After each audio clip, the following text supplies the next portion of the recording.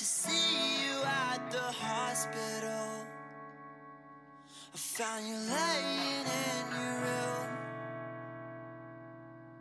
I stood by your bedside every night. Did my best to comfort you. It's the morphine and the